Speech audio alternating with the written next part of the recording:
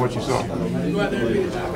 Yeah, he played. He played okay. I mean, obviously the interception at the end and touchdown makes for a for a heck of a day for any player. You know? But uh, he made some mistakes out there, and he'd be the first one to tell you. And, uh, just gonna look at him, and uh, it's another another valued experience for.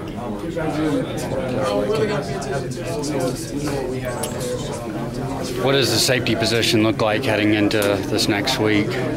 Do you know? Uh, that's a that's a good question. I think the stability back there has been Jermaine. Um, he has a great grasp of our system. Does a good job in respects to the communication and such needed. Uh, we still, you know, the safety the safety position overall from a production standpoint, all the different categories that we look at for production Anybody ratio, else for a Trent Fisher? um, we need to be better there. It's, it's been a position where we struggled this year, and, but the guys kept working at it, and they haven't they haven't backed away from the challenge.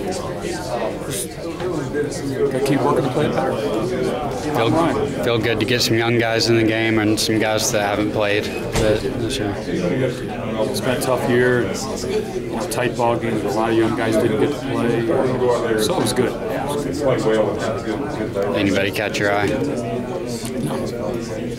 Did you make the kind of progress today you hoped for? As a defense? Uh, again, I think I think the progress today was a good a good day for the spirit of our football team.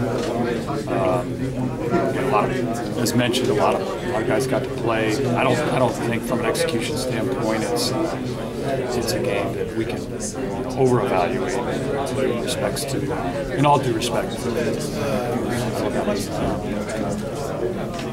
as we play next week, it'll be a little bit better. Coach and Trent give